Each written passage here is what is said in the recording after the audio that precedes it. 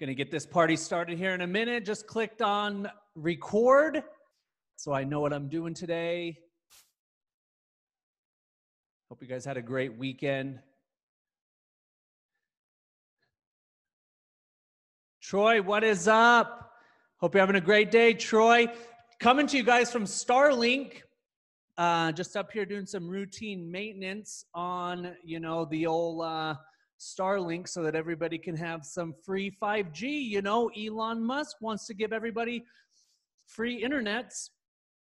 And so I'm just up here in space, you know, doing a little bit of repairs, gonna do a, you know, crypto and coffee show for you guys. So if you're new to the channel, like, subscribe, share with a friend. This is Crypto and Coffee. Let's see if it's showing up today. Crypto and Coffee. Oh, nope. Reception's a little bad up here. And there we go. Beans and brews. Reception's a little bit spotty up here in uh, up here in Starlink. But this is Crypto and Coffee, your daily jolt of financial markets. We talk about cryptocurrency. We talk about stocks, we talk about commodities, oil, precious metals. We talk about everything that's going on, personal finance wise. So, again, I hope you guys had a great uh, weekend. Let's jump right into the charts. What we got cooking today. Huh?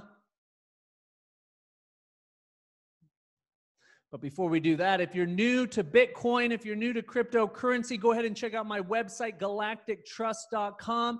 Since 2007, we've been helping individuals understand Bitcoin, invest in Bitcoin, use Bitcoin and other cryptocurrencies in their business and their personal life. A lot of good information on this website. You can also get a copy of my free book, Crypto Investor Secrets How to Invest in, How to Capitalize on the Greatest Investment Opportunity in Human History.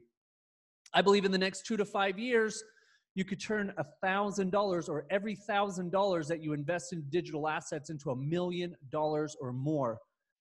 Go ahead and uh, check out the video presentation i did where i lay out why i believe that you can do that.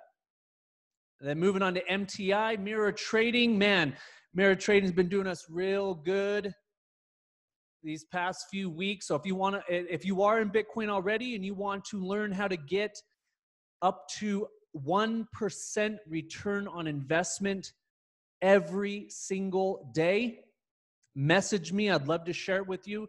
Here's my trading um, my trading reports or records from every day. So friday it's monday through friday that we get paid out. So friday you know got a quarter of a percent little over half a percent on thursday wednesday you know a 20th of a percent so again, if you want to, you know, get a good return on your investment paid out every single day, so a half a percent a day means you're gonna you're gonna double your money in you know less than 10 months. So not bad.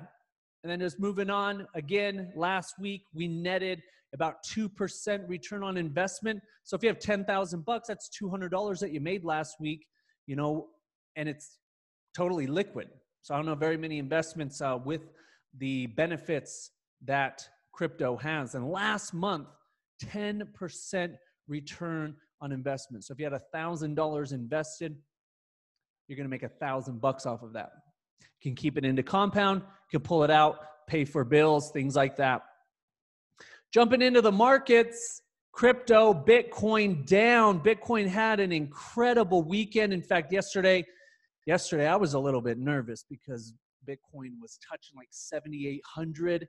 And I've said this on the channel. I've got some cash on the sidelines because I think this. I think that every market is going to have another panic sell-off when people start going back to work, and then the news starts saying the boogeyman is out for a second string of attacks. I think is going to have another big panic sell in the market. And so yesterday, when Bitcoin's taken off and hitting 7,800 bucks, I'm like, oh man, I do ah, I want it to drop. I actually want, I mean, if it, Bitcoin went to $2,000, oh my gosh, I'm selling my kids. Try to get some, I only have one kid, but I'm selling him on the market. Ethereum down half a percent.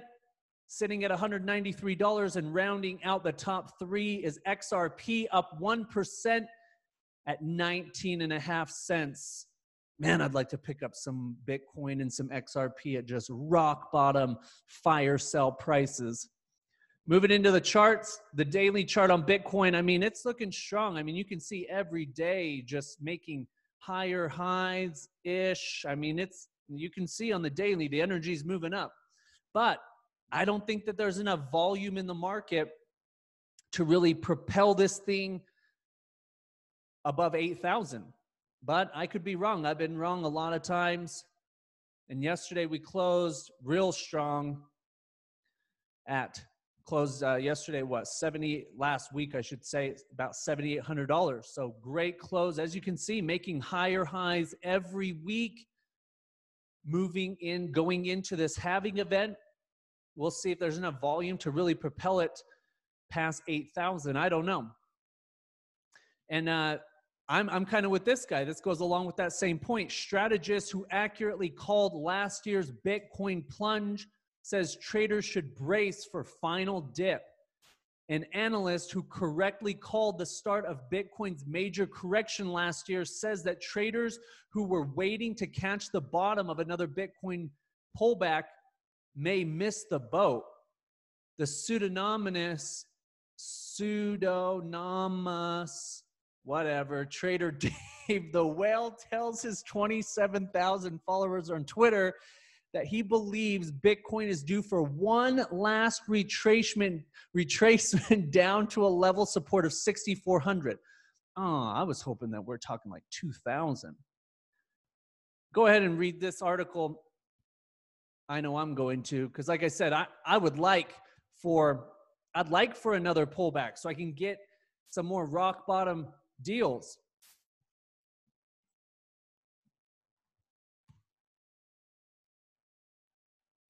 Moving into Ethereum, same thing on the daily, really holding nicely above that 100 day moving average. We're sitting at $192 right now. The weekly had to have, uh, not the monthly, the weekly ended strong. Just again, look at this. Just every week, higher highs, just moving forward. We'll see what happens.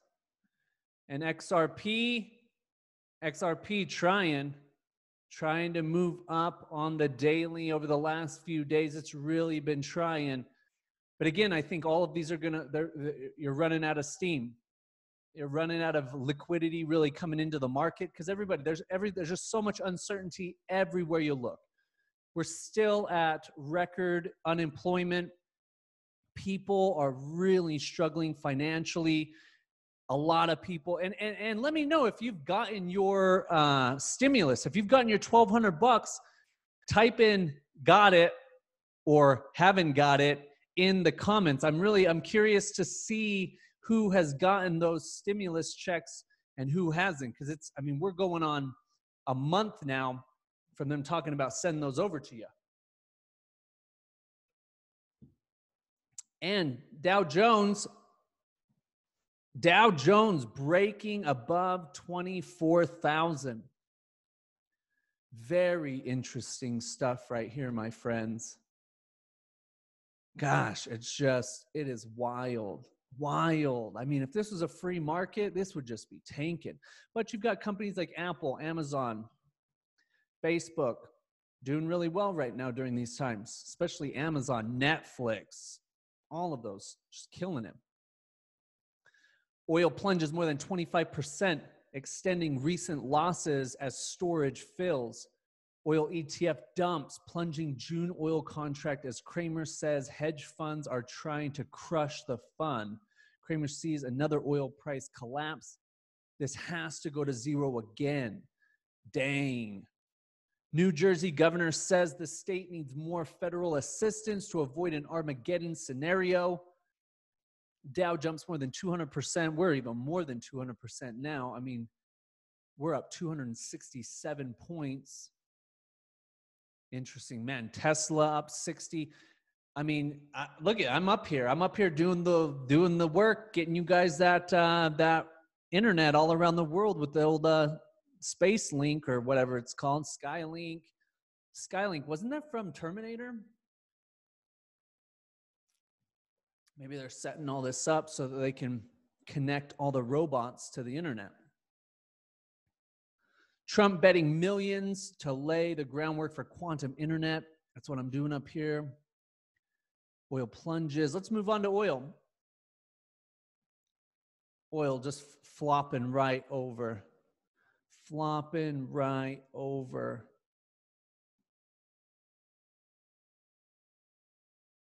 Oh man. And a lot of people, a lot of traders, a lot of day traders. And this is why I don't day trade. Is why I don't day trade, is because a lot of people bought into oil. A lot of people bought into oil not understanding really the fundamentals of what's going on. Now they might be stuck in a trade and that thing's just gonna we'll see where it goes gosh it's just so crazy silver no this is gold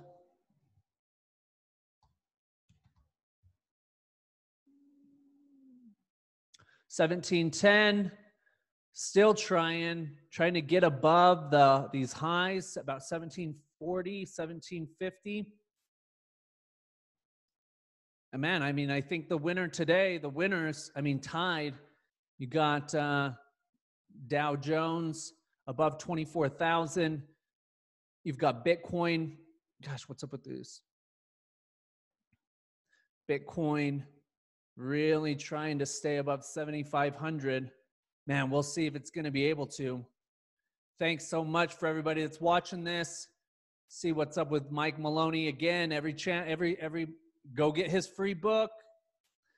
Go check out the video series. I've linked it in, uh, I'll link it again in this video. these will change the way you see the world. And I'm not trying to spread fear, but they say, you know, an ounce of prevention is worth a pound of cure. A lot of people wouldn't be in the position that they're in if they would have taken responsibility for their life. If they understood how the game worked, they take responsible responsibility for their part in the game. Learn how to save your money, discipline yourself. Wouldn't be going through this. That's, this is Tyson Foods warns the food supply chain is breaking as plant plants close. So food chain now closing. I mean, uh, uh, I'm grateful for the people that get to go back to work. You know, hair salons, barbers, whoever else is going back to work. I'm grateful that people have an opportunity to go make money but man, that this is not over. Save your money, make wise investments right now if you can.